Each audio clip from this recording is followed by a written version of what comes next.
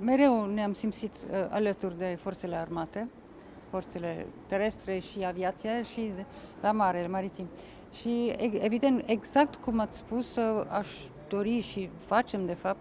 să continuăm uh, această tradiție și această legătură de suflet cu armata noastră, veteranii noștri